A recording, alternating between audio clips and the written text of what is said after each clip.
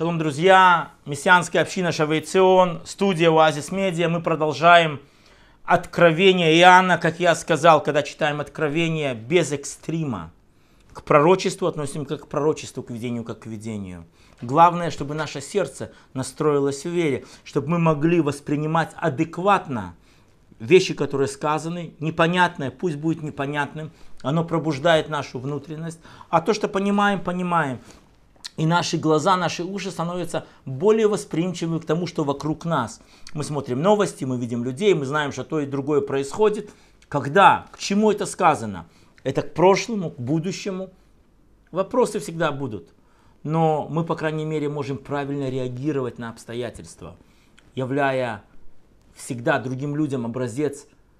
Мы верим в Господа Бога, мы на Него уповаем, мы верим в Его Сына, Спасителя. И это наше основное послание в этот мир, для этого мы живем. Вторая глава.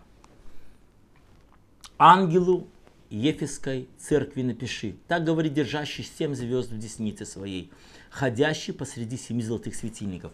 Мы уже говорили, что семь золотых светильников, и там раньше оно истолковывалось в первой главе, что это суть семь общин, или свет людей, которые воспринимают в себя Бога, который через Иешуа выводит нас из тьмы в свет, чтобы мы отражали, рефлектировали его свет другим людям. Не мы являемся светом. Очень важно понять этот момент. Конечно, в определенном мере да, мы же просвещены, но вот это я, я вам скажу, я вам, это не здесь подчеркивается, мы рефлектируем откровение Божье. И это должно понимание держать нас в определенном смирении. Ангелу Ефесской церкви. Ангелу или пастору, наставнику. Есть разные мнения, кстати. Некоторые говорят, что у каждой общины есть ангел-покровитель. Возможно и так. Я больше склоняюсь, что здесь говорится к человеку, который являлся руководителем этой ефесской общины. Есть мнение, что это был Тимофей, возлюбленный ученик, который ходил долгое время с Павлом, а потом был, э, наверное, передан э, под подчинение Иоанна. Вопрос открытый, нам очень сложно понять. Зна, второй стих. «Знаю дела твои, труд твой, терпение твое, и то, что ты не можешь сносить развратных, испытал тех, кого называют, кто называет себя апостолами. Они не таковы, и нашел, что они лжецы». Во-первых, важно понять, что Эфес, Эфес – это город в Турции, сейчас там развалины, или может быть есть что-то маленькое рядом, но раньше это был мегаполис, вот, громадный город, интенсивнейший. Центром этого города, история нам рассказывает, было поклонение Артемиде, Астарте, в греческом языке Артемида, то есть культ плодородия, сексуальная аморальная распущенность. Там были еще сотни других идольских храмов. И вот посреди вот этого мегаполюса, бурлящего не только религиозной жизнью, это был бизнес-центр, поэтому там большая еврейская община была. Мы знаем, что и сегодня Лондон, Нью-Йорк, это места, где есть много людей с разных концов земли, у которых там много бизнесов и активная жизнь. В этот город ворвалась искра Божия и началось пробуждение. Многие люди пришли к вере. И когда есть пробуждение, то есть всегда антипробуждение. Потому что под эгидой благой вести часто приходят лже-учителя. Сегодня мы видим то же самое, телевидение, газеты, которые показывают лже учителей, которые говорят вроде бы и слова правды, но живут, допустим, развратным образом жизни, в тайном, потом это открывается. Целые, целые семьи рушатся, к сожалению. Но это ничего не новое. Есть такое выражение в Евангелиях, волки в овчей шкуре.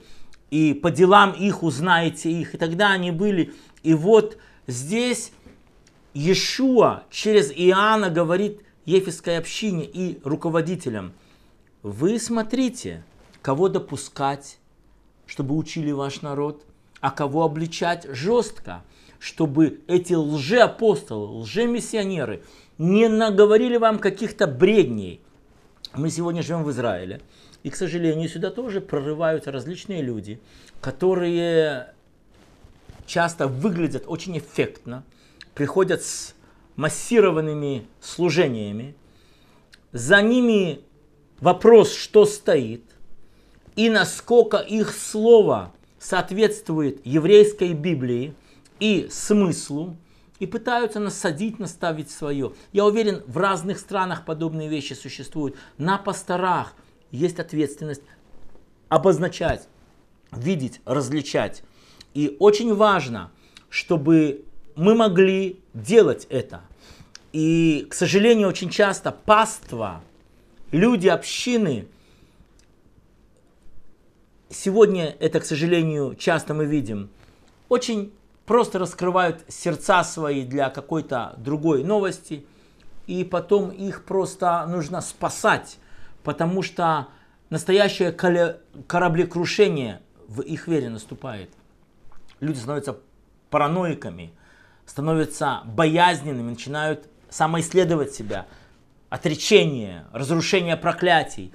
И живите правильной жизнью, жизнью общины, жизнью своего народа, будьте людьми. И вы увидите, что следование за простотой Слова Божьего выстраивает, освобождает и избавляет вас, и делает прорывы без всяких экстримов. Вот так нужно вести себя. Третий стих. «Ты много переносил, имеешь терпение, для имени моего трудился и не изнемогал, но имею против тебя, что ты оставил первую любовь. Итак, вспомни, откуда ты не спал, и покайся, и твори прежние дела. Если не так, то скоро приду к тебе и сдвину светильник твой с места, если не покаешься». Я хочу здесь поднять еще один вопрос, который, по-моему, важен. Если мы читаем с самого начала вторую главу, то мы видим Иешуа, который ходит посреди семи звезд, и его внешность для меня, по крайней мере, сильно напоминает еврейского первосвященника. Я уже в других своих учениях поднимал эту мысль, и я не то чтобы держусь за нее очень жестко, но некоторые культуры – настолько развращаются, что чтобы им исправиться и следовать за Господом Богом, им нужно отказаться от своей прежней, даже традиционной культуры. Возможно, в Ефесе было нечто подобное. Эта интенсивность идольской жизни была настолько разрушительна, что когда они ефесяне обратились к Господу Богу, многие на себя приняли еврейские обычаи. И возревновав о них, двигались за Господом и могли соблюдать свою веру. Но потом жизнь большого города, они начали как бы послабляться и опять стали встречаться со своими бывшими друзьями. Иногда нужно было встретиться по деловым вещам и, возможно, съесть идола жертвенное. И вот здесь вот приходит это обличение – Выбрав путь, держитесь. Избегайте не то чтобы старых друзей, но привычек и традиций старого образа жизни. И держите путь. Именно поэтому, особенно для людей, которые были далеки от еврейского, от библейского образа жизни, когда они приходят и получают новый стандарт жизни, очень важно удерживать его. Быть разумным, не надо быть опять-таки здесь экстремистом. Но вот здесь Господь Иешуа обличает Ефесян, говоря, вы оставили взгляд на меня, вы опять осуетились. Шестой, седьмой стих. Впрочем, и в тебе то хорошо, что ты ненавидишь дела Николаитов, которые я ненавижу. Имеющий ухо да слышит, что Дух говорит общинам, церквям, побеждающему дать вкуша, дам вкушать от древа жизни, которое посреди рая Божьего. Николаиты. Слово Николаиты очень непростое. Есть два мнения на эту тему. Одно из мнений говорит, что в первой общине был такой диакон Николай, который на каком-то пути потом, на каком-то этапе своего разочар... или разочаровался, изменил свое мнение и стал учить, что наш внешний образ жизни не имеет никакого общения, и нам нужно соблюдать только внутреннюю веру, а тело, оно может быть, как и этот мир, грешить, получать удовольствие, потому что в конечном итоге оно умрет, а после воскресения оно будет обновлено. Естественно, такая позиция это глупая позиция. Наши дела идут за нами. То, что мы делаем в нашей жизни сейчас, идет за нами и будет на престоле Господа судимо. И наша вера в Иешуа еще более заставляет нас смотреть за стилем нашей жизни. В Матфея сказано, если ваша жизнь и ваша праведность не превзойдет, то есть мы должны быть в некоторых вещах, в некоторых вещах более аскетичны. К сожалению, многие верующие говорят, а мне все позволено, благодать. Другое мнение по слову Николаитов имеет несколько другой э, смысл. Николай ты или в иврите есть такое выражение нохель. И оно, когда это слово нохель преобразовалось через уста нескольких слышащих, может преобразоваться в Николай. Нохель с иврита это значит паразит. И эта мысль тоже очень интересная, особенно для руководителей и пасторов общин. Мы знаем, что часто в общинах есть люди, которых можно назвать паразитами. Нухлим, которые им удобно. Они от себя ничего не хотят оторвать. Они просто часть общины, и они всегда потребители. Здесь Иешуа призывает ненавидеть не потребителей, а дела нухлим. То есть, видя их дела, останавливать их. И они часто, эти нухлим, эти паразиты, выражают свою слабость. Они говорят, вот, помогите мне, мне... Мы знаем из священных писаний, если ты хочешь помощи от Господа Бога, увидь вокруг себя слабее себя. Иди и помогай им. И тогда твой паразитизм отойдет. Тогда ты исцелишься и будешь нести доброе другим людям. И здесь, когда Иешуа говорит ангелам или пасторам, руководителям общин, он говорит, смотрите, в каждой среде есть паразиты. Ненавидьте дела их. Подходите к этим людям и нежно, но настойчиво обличайте их, говоря, сестра, брат, ты не можешь продолжать такой образ жизни. Ты не можешь все время сосать от других людей. Пососал месяц, два, год, два. Все, хватит. Сейчас начни вести ответственный образ жизни. Не греши, не вытягивай силы. Лучше научись помогать другим людям и увидишь благословение, которое приходит к тебе.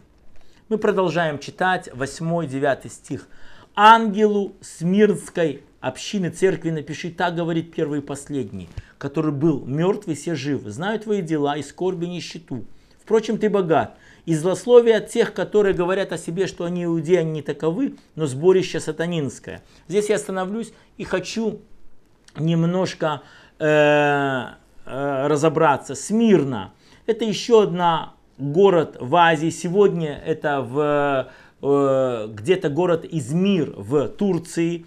И наверняка это не совсем тот самый город, который сегодня э, существует, наверное, там где-то рядом. И центром поклонения в этом городе была вера в Митру.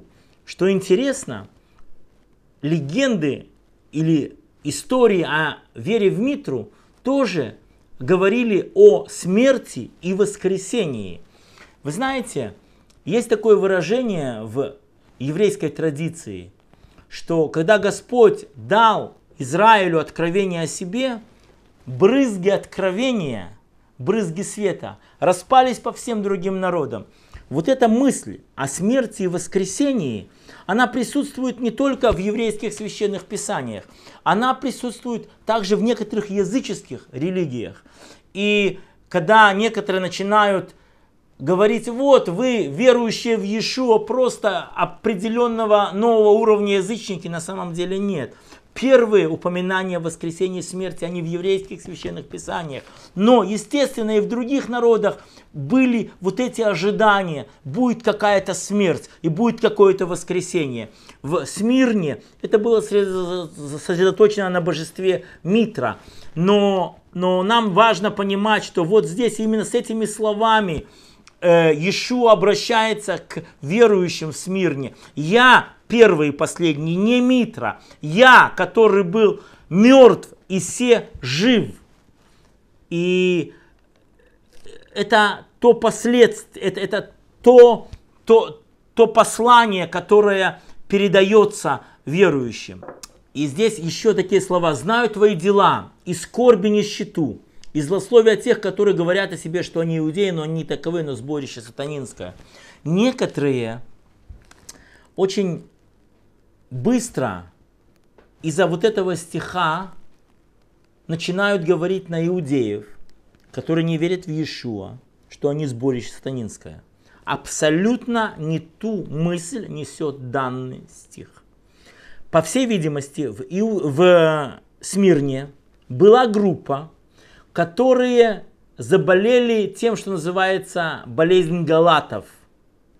И стали о себе говорить, что они истинные иудеи. Говорят о себе, что они иудеи, но они не таковы. Они отошли от веры и простоты евангельского послания, стали группой экстремистов. И по всей видимости эти люди, наверное, принадлежали какому-то богатому сословию, поэтому они могли манипулировать мнением и обличать тех, которые в простоте веровали в Господа Иешуа.